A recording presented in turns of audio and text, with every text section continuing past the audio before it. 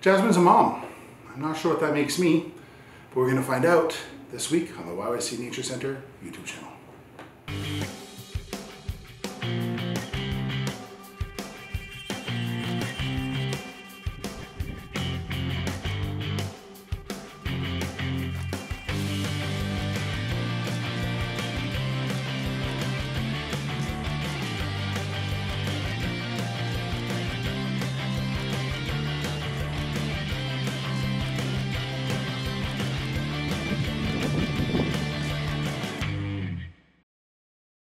Hello once again everybody and welcome to our YouTube channel and uh, we're doing some mammals this week. It's been a bit since we've done a mammal and uh, I think actually our last mammal update was our two chinchillas, KJ and Meatloaf, which have just celebrated their first birthday. They were born January 22nd of 2022 and uh, they were born to this girl here and the dad is uh, Jasper and we had kind of talked about what our plans were and what we wanted for the future for, for our chinchillas.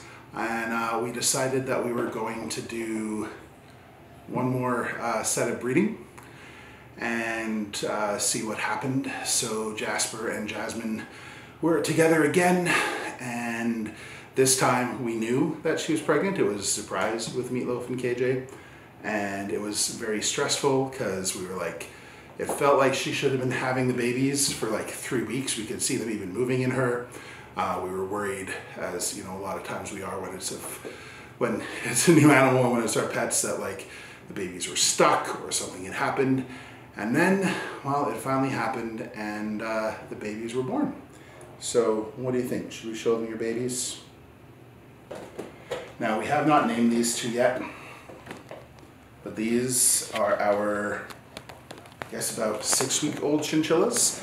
So they have grown a lot already um, and look like chinchillas. When they are first born, they look, you have poop on your face. That's, did you just poop on your sibling?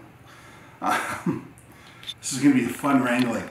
Uh, so when they were first born, they almost kind of looked like little little puppies, like little uh, uh, like terriers or something like that. And then as they have grown, they have uh, become more and more chinchilla-like. So we have not named them yet. Uh, the white one's a little bit bigger than the gray one. Uh, but the gray one also has white on its rear end. So they do actually look quite different from their first batch of siblings. I know you guys are so cute and curious. Now, the funny thing, or the cool thing about them, uh, they are actually born fully furred, unlike most rodents and they are um, able to move and walk around and explore fairly young.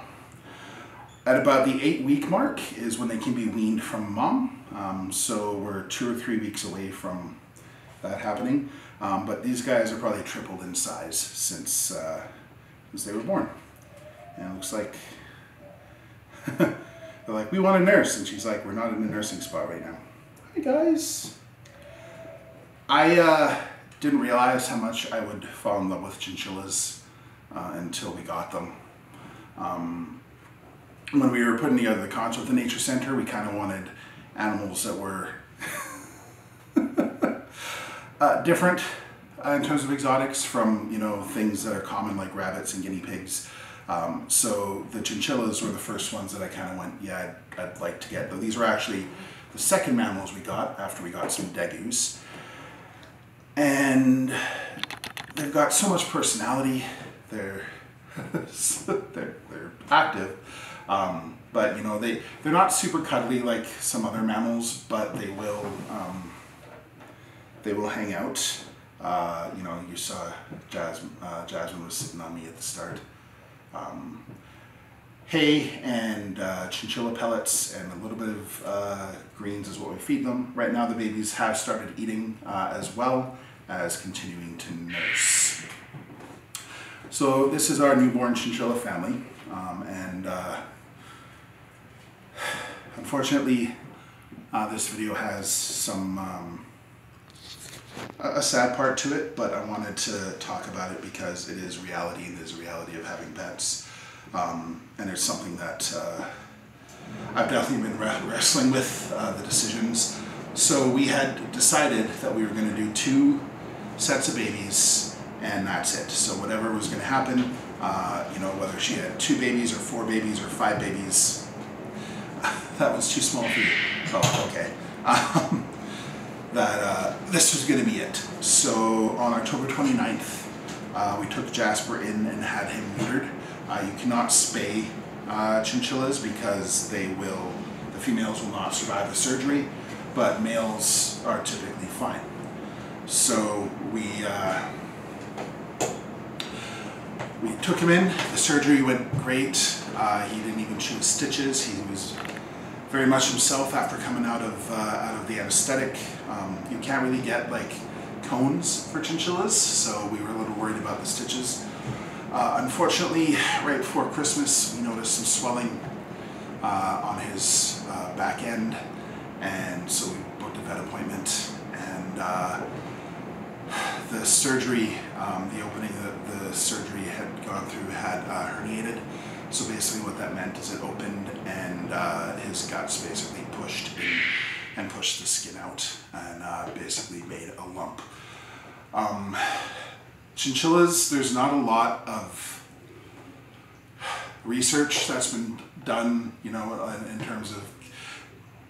It's not as common to do surgeries as it is with dogs and cats. And uh, our vet, which is Falcon Ridge Vet Clinic in Calgary, um, did a ton of research, spent a whole bunch of time uh, talking on some of her boards online on with other vets about if anyone had successfully done uh, the surgery.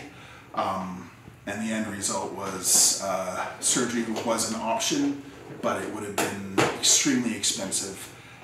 No guarantee he wouldn't have died on the table, and no guarantee that it would have worked, and no guarantee that it would have prevented it from happening again. Uh, so for his quality of life, with discussion with the vet, we decided uh, the most humane thing to do was to put him down. Uh, with it being over Christmas, a lot of vets were uh, gone, and unfortunately, he uh, took a turn for the worse before we could have a set appointment. So on uh, December 27th, I took him to uh, emergency vet and uh, said goodbye. And you know, you, you lose animals, especially when you have a lot um, you know, any kind of zoo, any kind of facility, even people who breed. Um, and some animals, you know, affect you more than others. And uh, especially because there was kind of the guilt of whether or not, you know, he would have been okay if we hadn't done the neutering. But uh, both the emergency vet and our vet said that was the, the proper choice to make because uh, we didn't want to add more baby chinchillas to the to the world.